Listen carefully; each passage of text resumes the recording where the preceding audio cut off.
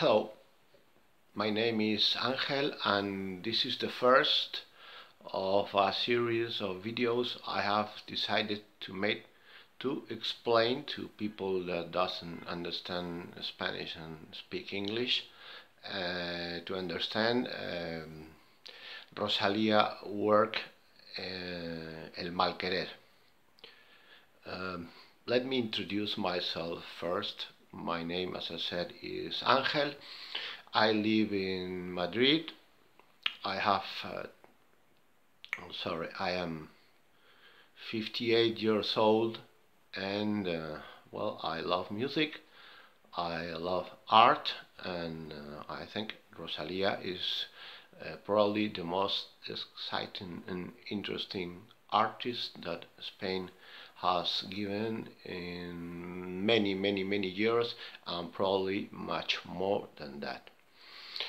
Uh, what do I know of Rosalia? Actually, not much. Uh, it's just uh, this week that I saw for the first time one of uh, her videos uh, in YouTube. And well, uh, it has been just having a look two three times and uh, I have started to feel uh, things that I usually don't feel when I listen to music or when I see someone acting. And well I, I feel the, the need to to do these videos and and get out of my mind a lot of things that I'm discovering about it. Uh, well, I have been also viewing a couple of interviews that she has made for different um, Spanish uh, radios and also I have read uh, an interview with the people of Canada which are um, editors and producers of some of his music and, and videos and uh, well I have also read a couple of entries uh, at, in the Wikipedia. And well that's all I have to to start.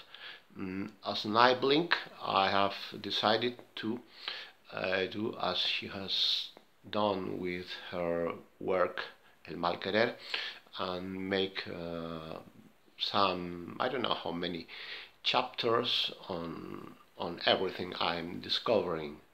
Uh, so this is the first chapter. Uh, I really don't know how word could I use to describe it, so let's uh, leave it just as chapter number one.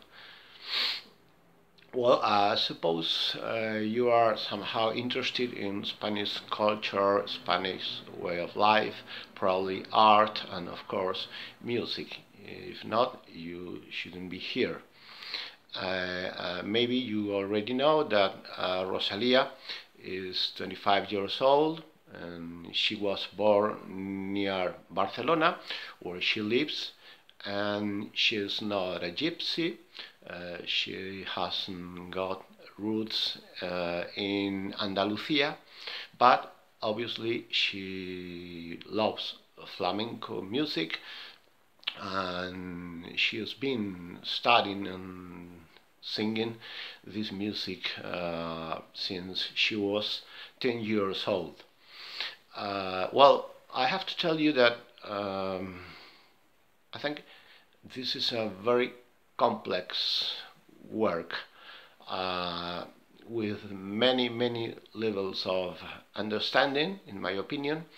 And when I say this, I have to admit that I really don't know uh, if I can discover the difference on her work between what is an idea or what uh, English people or British would call uh, witticism. Uh, well, when you are involved in the process of creating something, sometimes you got ideas and sometimes you got just witticisms that uh, can change something.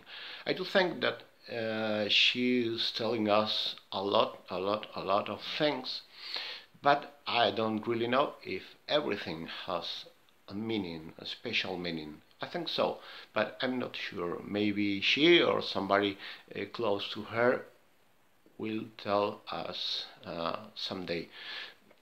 So, uh, well, mm, this is the end of this video. I don't like videos that are, uh, are very long, so five minutes is enough. Uh, well, I hope to uh, see you again in the next video if you're interested. Uh, thanks for viewing and have a nice day.